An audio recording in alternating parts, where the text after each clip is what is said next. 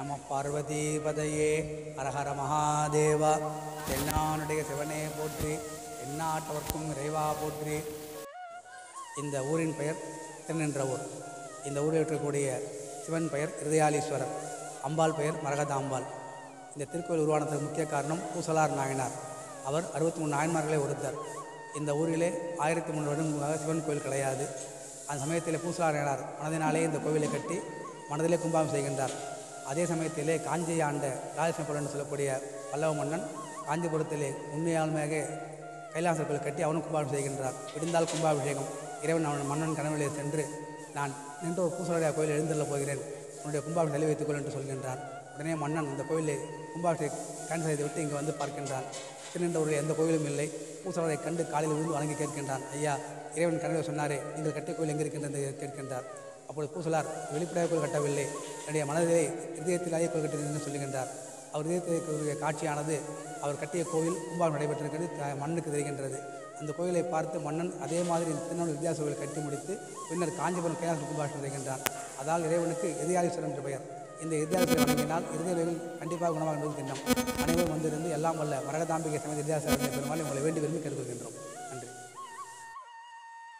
சென்னைக்கு மிக அருகில் திருவள்ளூர் மாவட்டத்தில் திருநின்ற ஊரில் பழமையான இதய நோய்களை போக்கும் மரகதாம்பிகை சமேத இருதயாலீஸ்வரர் திருக்கோவில் உள்ளது. இவ்வாலயம் ஆயிரத்தி முன்னூறு ஆண்டுகள் பழமை வாய்ந்தது.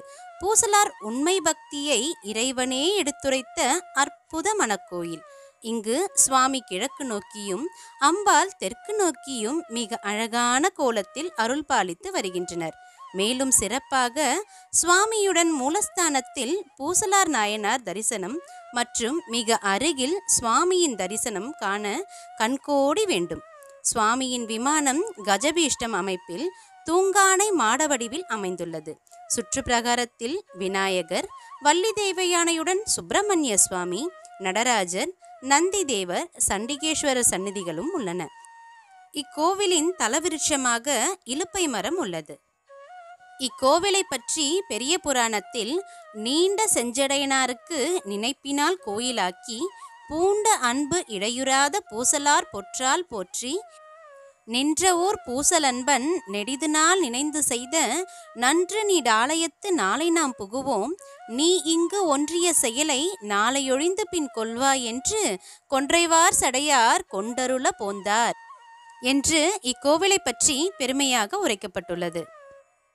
நாயன்மார்களில் ஒருவரான பூசலார் திருநின்ற ஊரில் பிறந்தவர். இவர் இவ்வூரில் உள்ள சிவலிங்கம் ஒன்றை தரிசித்து வணங்கி வந்தார். மேற்கூரை இல்லாத அந்த லிங்கம் வெயிலிலும் மழையிலும் நனைந்தது. இதை பார்த்த பூசலாருக்கு சிவனுக்கு கோவில் கட்ட ஆசை எழுந்தது. ஆனால் அவரோ பரம ஏழை.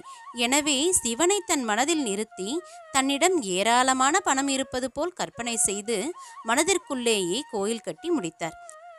ஒரு இலுப்பை மரத்தடியில் தியான நிலையில் அமர்ந்து நன்னாளையும் கணித்துவிட்டார் இதே நேரத்தில் காஞ்சியை ஆண்ட பல்லவ மன்னன் காஞ்சியில் கைலாசநாதர் கோயிலை கட்டி முடித்து குடமுழுக்கு நாளை நடைபெறும் தருணத்தில் அரசனின் கனவில் இறைவன் தோன்றி அன்பனே நீ கும்பாபிஷேகம் செய்ய போகும் கோவிலுக்கு நாளை நாம் வருவதாக இல்லை. திருநின்ற ஊரில் வாழும் நம் அன்பன் ஒருவன் நெடிது நாளாக நினைத்து கட்டி முடித்த கோவிலில் நாளை விடியலில் கும்பாபிஷேகம். நாம் அங்கு எழுந்தருளப் போகிறோம். ஆதலால் நீ வைத்திருக்கும் கும்பாபிஷேகத்தை இன்னொரு நாளில் வைத்துக்கொள்க என்று கூற உடனே காஞ்சி மன்னன் தன் பரிவாரங்களுடன் திருநின்ற ஊர் வந்தடைந்தான். பணக்கோவில் எழுப்பிய வேந்தனும் மணக்கோவில் எழுப்பிய வேதியரும் ஒருவரை ஒருவர் கண்டனர்.